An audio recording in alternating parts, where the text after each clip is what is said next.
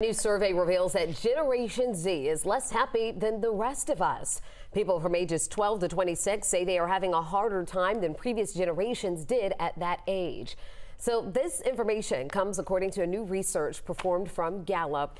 Of 2,000 Gen Z Americans surveyed, 75% reported being at least somewhat happy, but the number went down significantly as the kids and teens reached adulthood. Researchers say two factors were correlated with happiness for Gen Z. Those include the amount of sleep they got on weekends and a sense of purpose.